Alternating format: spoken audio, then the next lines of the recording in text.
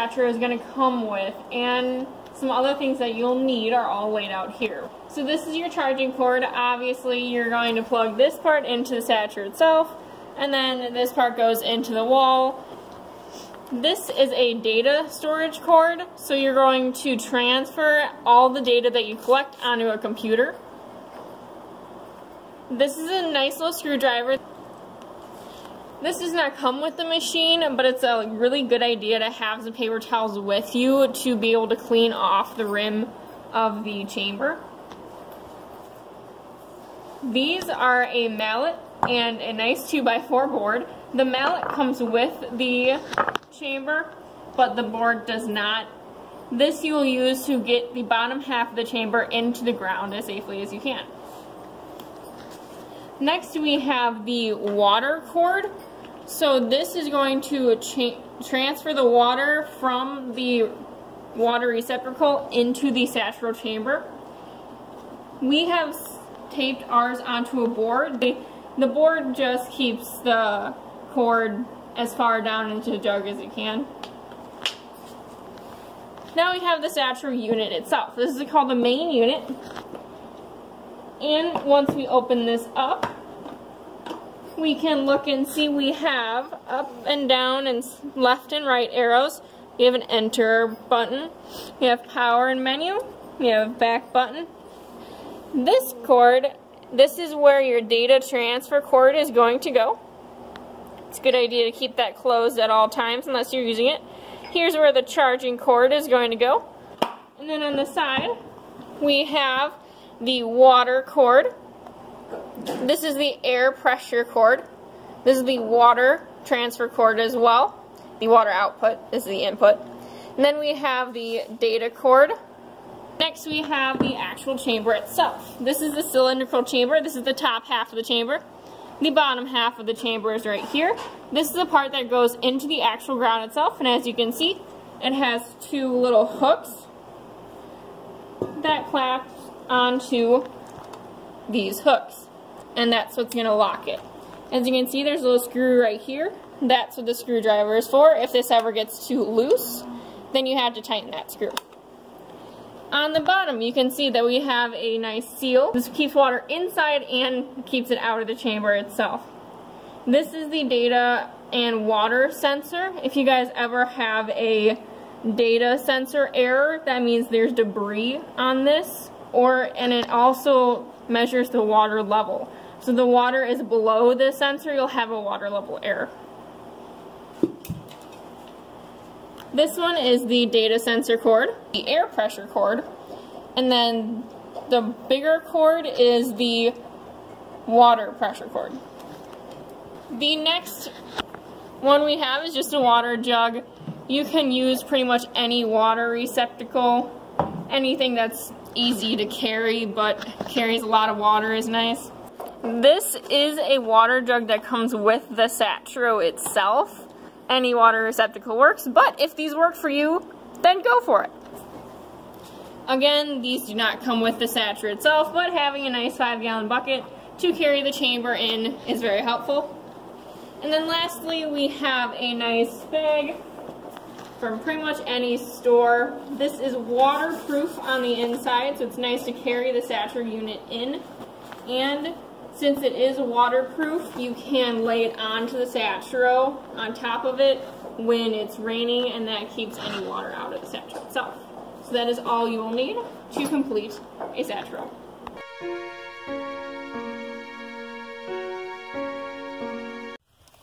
Now when you're setting up your Saturo, the first thing is, is to find a good spot on the ground. You want something that's representative of the entire area. So you want something that's not completely covered with debris, but you don't want something that has practically no debris on it. Because as you can see, there is actually a lot of debris around here. So you have to have something that it's not a tire track, it's not a footprint, there shouldn't be much compaction there. Now in order to hammer this into the ground, we're going to use just a normal wood block. We're going to place that right across from it. And then we're going to use our mallet and we're going to hammer this into the ground until the ground is level with this lip. Now that you have it in the ground, you can see that the hooks should be clear of any debris. You're also going to want to clear off the area so that you get a nice, good seal. If there's too much debris on this edge, you're not going to get a seal and the water is going to escape. What you're going to do is you're going to take your chamber, the top half of your chamber, unwind the cords. You're going to take the latches. Again, clear the spot of any debris. You're going to set it onto the the bottom half of the chamber and you're going to line up these latches with the hooks and you're going to close it tight. If it's too hard to latch then there's probably something under the chamber and you'll have to unlatch it and look and make sure there's no debris there. Next what you're going to do is you're going to take these three cords you're going to come over to your Saturo unit and we're going to start plugging these in. Data cord you can see has a little hook on it. That little hook right there is going to go into the indent of the data cord plug. So you're going to line those up, plug it in, and then twist the lock until it locks. You're going to then put the small cord into the small hole and you're going to push until you feel it lock it larger plug and you're going to put into the larger black plug. You're then going to take your water cord. You're going to plug the water cord into the white and gray plug. So you should have four cords all locked into place. You're then going to open up your water jug.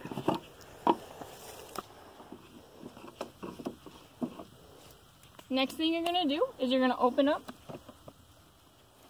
to open your thing, you're going to push down on the gray and then pull up on the black. And then that will open it.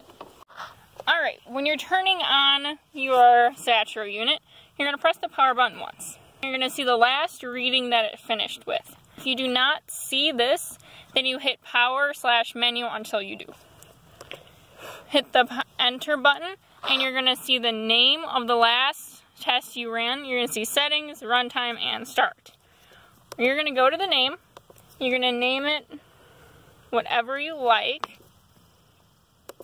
You're going to press the done, and then you're going to go down to settings. For what, for our purposes and what you probably want in the ideal world, you're going to want a low pressure of 5 centimeters, a high pressure of 10 centimeters. Your soak time, depending on how wet the soil is, is going to be anywhere from 10 to 20 minutes. We just got a rain here, so we're down at 10 minutes, but you can change that. Your pressure cycles, we did three. Your hold time is going to be 15 to 20 minutes. 15 works pretty well. Your insertion depth is either going to be 5 or 10 centimeters, depending on the second half of your chamber is going to depend on if you're at 10 or 5. We have the deeper cylinder, so we're going to go with 10. If you need to change anything, you're going to highlight it with the black and then hit enter. And you can change it with the arrows up, down, and then once you're done, you can hit done. To get out of your settings, you're going to click back. This is just going to tell you your runtime and then you can hit start. It's going to always tell you to check your water supply, tubing, and sensor connections. It's always a good idea to check those, even if you're like 100% sure you plugged them in. It's always a good idea to check them. And then once you have checked them, you hit OK, and you hit OK again. It's going to say equilibrating, and then once it is done equilibrating, it's going to say soaking, and that's when it'll start the time. First thing you do to take it down is to know that it's actually done. Now what you're going to see is that the timer starts over on the original time and you're going to see the final KFS infiltration rate. First thing you do is you have to close the lid. Close the lid and lock both locks. And then you're going to take off all sensors. To take the sensors off for the data cord, you first twist and then it should pop out. For the other three, you're going to push in either the gray or the black seal, push it in, and then pull out the cord. Be careful when you're pulling out the water cord, there will be water in it, and you will get wet. Then you're going to put the main Saturo unit back into a bag or whatever unit you're using to carry it in. And then that's done, you're going to set that aside. The next thing you're going to do is you're going to take down the chamber. You're going to unlock both latches, flip this big latch out from under the hook, and now when you pull up, there is going to be a flood of water, so be careful. You're going to then take the cords of the chamber, you're going to wrap it around and tuck them into the locks. That way, the cords won't get snapped on anything, they won't get blocked by anything, they won't get broken. Set that aside.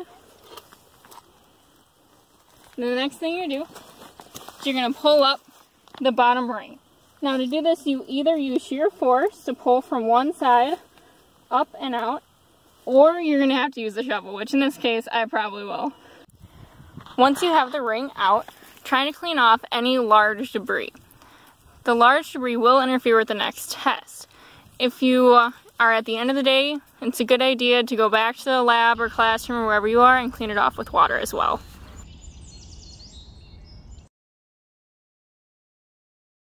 Now this is going to be in order of what you see on the Saturo machine itself. So first you're going to see the flux. The flux ideally should start high and then go lower as time goes on and then by the end you should have a flat section which represents steady state. This is what you're really looking for. The most likely graph that you're going to see is something that looks a lot more like this. You're going to see something a lot more crooked, but this is all you need to see, that flat section towards the end. Next, we have the ideal pressure. This is the one that's most important. If pressure is not correct, you're going to have to redo the run. There's something going on that's wrong. You will not get a right reading. Ideally, you want three high pressure heads and three low pressure heads. Now when I say a pressure head, I'm talking about this is a high pressure head and this is a low pressure head. You see I have one of each in each of these three cycles, we call them. Each cycle would be about 30 minutes if your whole time is 15. The first stage, the first 10 or 20 minutes, depending on what you set the soak time to, that doesn't count in the cycles. Ideally, the cycles would be perfectly flat every time. It goes straight from high pressure of 10, straight down to low pressure of 5. More realistically, you're going to see a little bit of variance up in the high pressure. You're going to see a little bit of variance down in the low pressure. And switching from high to low or low to high might not be a completely straight line, but what you really want to see are these high pressure and these low pressure. Next, we're going to have the ideal water pressure, or the ideal water level, sorry. Ideally, it should be completely straight throughout the entire thing. What you want is a water level of 5 centimeters. Realistically, you might have some variance in this, but it's going to be very, very small. You're going to want completely straight. If it's not straight or it's below the 5 centimeter line, there's a problem and you're going to have to start over the run. Some common errors or warnings you're going to see. The first one is a data sensor error. For that one, you're going to want to check to make sure the data cord is plugged in, and you're going to want to check that the data sensor, the black tube inside of the chamber, if that's covered in debris, it also can't read anything. So check those two if you see that warning. The next one is the most common one, water level error or water level warning. You're going to have to check a lot of things for that one. The first you're going to have to check to make sure both clips on the chamber are tight. If those are loose, you're going to want to tighten them with a screwdriver. You have to check to make sure the gasket on the bottom of the, the chamber and make sure that's completely sealed. If you see water leaking out the side, that means you have a problem with your gasket. You have to check to make sure the water container is full. If there's not enough water, you're going to have a water level error. And you have to check to make sure all of your hoses are not leaking. If any of your hoses, any of your intake or output hoses are leaking, then you're going to also have a water level error. Sometimes this error is completely unavoidable. If there's a hole in under the soil, if there's some kind of macro pore you're feeding into, if there's an ant hill underneath you, you're never going to get enough water in the chamber to get a good pressure. So you're going to have to start over your start your machine over. You're going to have to move it a couple feet away